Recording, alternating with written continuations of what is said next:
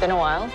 Things have changed. I started hearing whispers about Thrawn's return as heir to the Empire.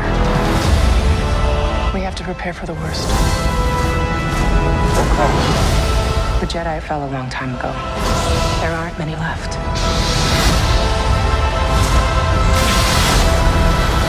Perhaps it is time to begin again. Ahsoka, original series streaming August 23rd.